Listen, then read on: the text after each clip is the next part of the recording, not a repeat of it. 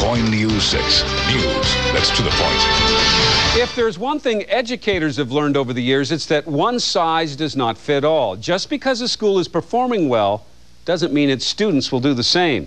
KOIN News 6 reporter Eric Taylor has shown us public and private schools that work. Tonight, a different kind of school. And tonight's special report, Making the Grade.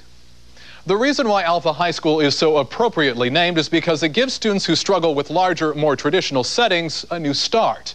Students who drop out and may not finish high school tend to finish when they enter Alpha. Why?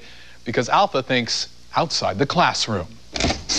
Nick Asbury is not your average high school student, and this concrete accessories shop is not your average classroom. And this teaches you a great deal of work, work ethic that you can actually use later, and you can take it to the bank, you know? I mean, it's, it's worth something.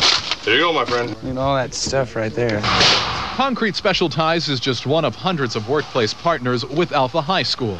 It's this hands-on, job skills intensive experience that makes Alpha different and works so well. Half of Nick's day is spent here, the other half he spends in class. That I'm getting out here, I'm doing something that I'm going to be more prepared to go to work.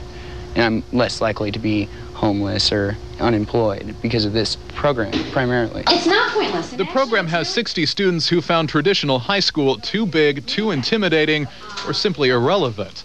In a new building with community garden outside, small classes focus on just a few topics at a time, but go deeper. Learning, I don't have to deal with so many kids answer like asking a million different questions and no nothing getting learned.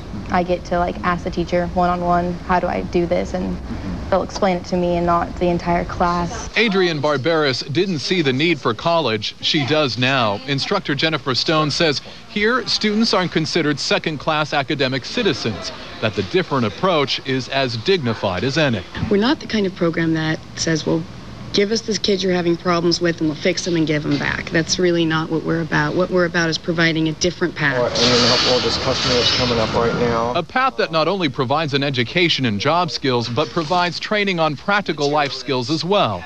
Everything from buying a home to buying insurance is covered. All of it part of a program that puts success within reach of everyone. Alpha High School is run by the Multnomah County Educational Service District, which serves eight different school districts. Eric Taylor, KOIN News 6.